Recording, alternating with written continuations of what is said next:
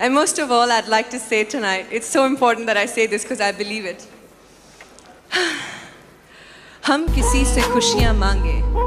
ये हमें मंजूर नहीं मांगी हुई खुशियों से किसका भला होता है जितना अपनी तकदीर में लिखा है वो ज़रूर अदा होता है